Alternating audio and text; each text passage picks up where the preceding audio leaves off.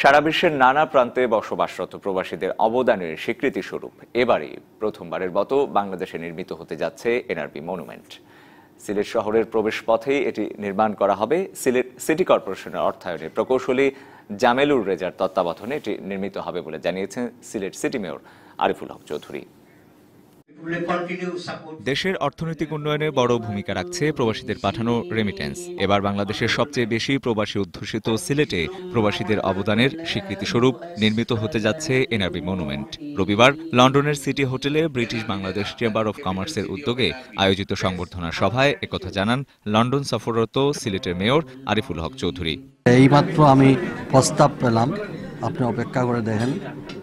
আমি পৌঁছার পরে ইনশাল্লাহ হয়ে এই রিজনে আমাদের যেসব ছেলেমেয়েরা বিভিন্ন সেক্টরে তাদের মেধা যেটা আছে সে মেধাটাকে আমাদেরকে দেওয়ার জন্য আমরা চাচ্ছি। আমি এই মনুমেন্ট স্থাপনের মধ্য দিয়ে প্রবাসীদের সাথে সিলেটের সম্পর্ক আরও গভীর হবে বলে মনে করেন যুক্তরাজ্যে শীর্ষস্থানীয় এই বাংলাদেশি ব্যবসায়ী নেতা।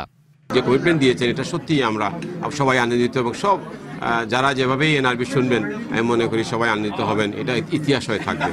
ব্রিটেনে বর্তমানে বাংলাদেশি বংশোদ্ভূত নব্বই হাজার গ্র্যাজুয়েট রয়েছে।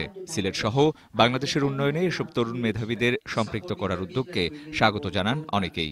মেয়র স্পেসিফিকলি আমার, আমাদের আমাদের কাছে যে যে রিকোয়েস্টটা করেছেন যে আমাদের যে নব্বই হাজারের উপর গ্র্যাজুয়েট এই দেশে আছে, ওদের জন্য নলেজ এক্সপার্টিসটা বাংলাদেশের জন্য ব্যবহার করতে পারে এবং আমি আমার বক্তব্য মেয়রকে রিকোয়েস্ট করেছি যে ওনাদের ইন্টার্নশিপ ইন্ট্রোডিউস করার জন্য এক্সচেঞ্জ প্রোগ্রাম ইন্ট্রোডিউস করার জন্য। ব্রিটিশ বাংলাদেশ চেম্বার অব কমার্সের উদ্যোগে গেল বছরের অক্টোবরে সিলেটে অনুষ্ঠিত হয় NRB global business convention Ranjan Shubhra DBC news desk